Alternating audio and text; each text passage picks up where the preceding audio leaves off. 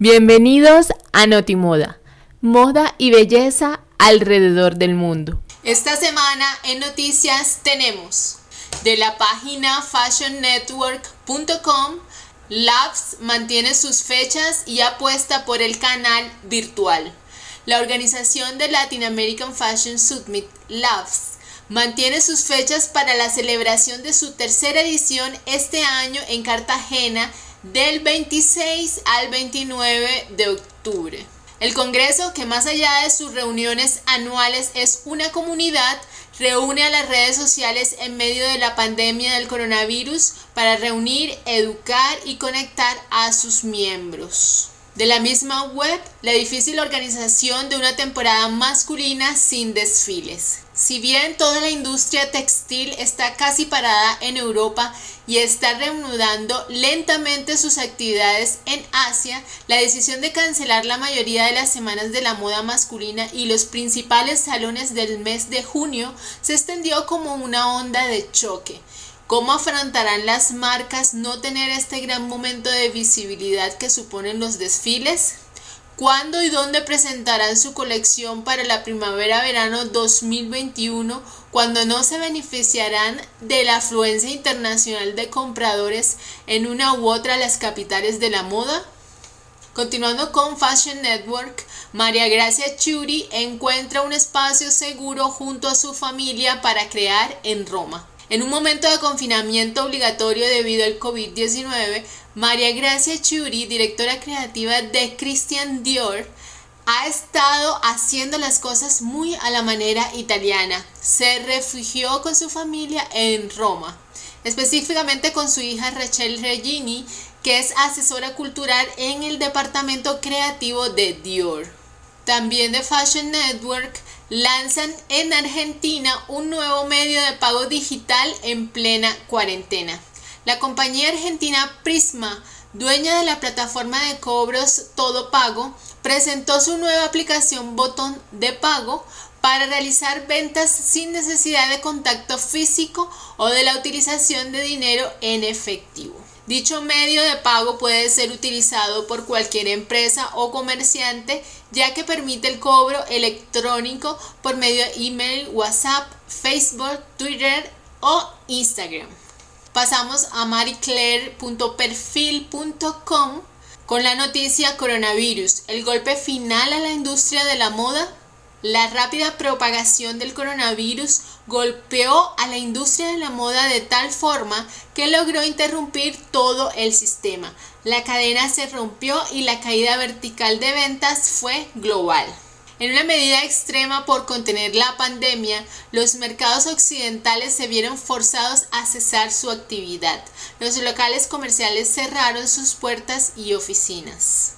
Con tanta incertidumbre por delante, la mayoría de las órdenes de compra fueron canceladas y las marcas se vieron obligadas a parar su producción y en muchos casos el personal fue suspendido o despedido. Leemos de muy.today impone la moda, utiliza estos distintos tipos de faldas según tu figura. Las faldas han existido desde la antigüedad, pero cuando la revolución de la moda llegó, los grandes diseñadores empezaron a crear diversos estilos como tubo, rectableada, lápiz, minifalda, etc. A la mayoría de las mujeres nos encanta estar en la moda y al mismo tiempo sentirnos cómodas, a pesar de que en ocasiones resulte ser un poco complicado, ya que se debe estar atenta a la manera en que te sientas, que el vestido no se levante, subir las escaleras con precaución, etc. Es así que las faldas recomendadas son maxi faldas lisas. Este modelo de faldas son las que quedan hasta los tobillos y son ideales para cualquier tipo de cuerpo y altura. También tenemos las faldas formales.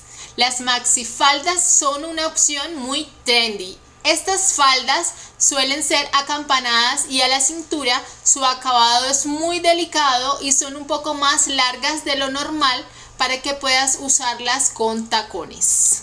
Tenemos las faldas estampadas que son idóneas si deseas lucir un look bohemio y playero. Este tipo de faldas puedes combinarla con una blusa lisa, con una chamarra de mezclilla y botas. Pasamos a telemundonuevainglaterra.com. Diseñadores de moda crean mascarillas contra el COVID-19. Diseñadores de alta costura de todo el país se han unido para crear máscaras protectoras para las personas más vulnerables al COVID-19 y para proteger a los que nos están protegiendo contra el virus, como doctores, policías, bomberos y trabajadores de negocios esenciales. Leemos de fashionunited.es tips y experiencias de la industria de la moda en tiempos de coronavirus. En esta edición especial sobre moda en tiempo de coronavirus, parte del equipo de Fashion United Latinoamérica estuvo conversando con profesionales de la industria de la moda de la región sobre cómo atravesar este momento de crisis global generado por la pandemia de COVID-19. De moda es.es la moda ante el retail post-COVID-19, sin probadores, control de aforo y tecnología web. Las empresas empiezan a pensar en cómo adaptar su red de distribución en la que probablemente sobrarán más puntos de venta. Hemos desarrollado una funcionalidad que permite sacar dinero con un código QR y sin tocar el teclado. El cliente indica la cantidad de efectivo que quiere retirar en la app del móvil o en la web y acude al cajero. Igual que entidades financieras, la moda comienza ya a preparar el escenario post-COVID-19 en las que las tiendas reabrirán, pero probablemente cambiadas sin probadores, con controles de aforo y con más tecnologías. ¿Cómo serán las tiendas tras el coronavirus? De elheraldodemexico.com.mx, la crisis en la moda tras la contingencia sanitaria por el COVID-19. Las pérdidas que reporta la industria del lujo, según Business of Fashion, debido al coronavirus, ha llevado a la moda a declararse en crisis, sin embargo no dejan de sumar esfuerzos por combatir al virus. Leemos de Vogue.mx Giorgio Armani y su reflexión sobre el estado de la industria de la moda actual.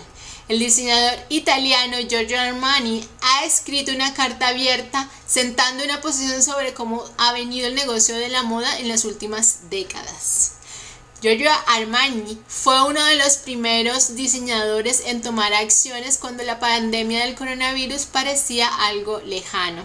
Era febrero y la semana de la moda de Milán ya había comenzado cuando el italiano anunció que presentaría su colección Otoño-Invierno 2020-2021 a puerta cerrada para prevenir y cuidar la salud tanto de su equipo como de los que estaban invitados al desfile. Ahora Armani toma la delantera una vez más y esta vez lo ha hecho para sentar su posición públicamente sobre el estado actual de la industria de la moda. El diseñador lo ha hecho con una carta abierta dirigida a Miley Socha, editor en jefe de la publicación especializada en moda WWD y sus colaboradores. Los excesos de la industria de la moda y su ritmo de producción son temas que han estado en boca de todos desde hace varios años ya. Y es que muchos han cuestionado la manera como se está produciendo y cómo se está vendiendo, llamando al regreso de un calendario más sensato con dos colecciones al año, respetando las temporadas y los tiempos de manufactura y entrega. Armani se encuentra entre estos críticos del sistema actual y escribió, el declive del sistema de moda tal como lo conocemos comenzó cuando el segmento de lujo adoptó los métodos operativos de la moda rápida, imitando el ciclo de entrega interminable de este último con la esperanza de vender más, pero olvidando que el lujo lleva tiempo, se logra y se aprecia. El lujo no puede y no debe ser rápido. Y en nuestra última noticia del día de gracia.mx, ¿cómo será la moda después del coronavirus? Tomemos los momentos de crisis como una oportunidad para cambiar la industria de la moda y construyamos nuestro propio estilo e identidad. ¿Cómo será la vida después de la pandemia? Esta es una de las preguntas que todos nos hemos hecho y que muchos han tratado de responder. Sin embargo, no hay una respuesta certera. Lo descubriremos hasta que el tiempo pase y todo acabe. Hasta aquí las noticias de hoy. Los esperamos en nuestra siguiente entrega de noticias sobre moda y belleza. Te invitamos a conocer nuestra web www.stylepoint.club para toda la información de moda, belleza y asesoría de imagen. Y suscríbete a nuestras redes sociales para inspirarte con fotos, gráficos, videos y mucho más. StylePoint.club, un punto de encuentro entre la moda y la belleza.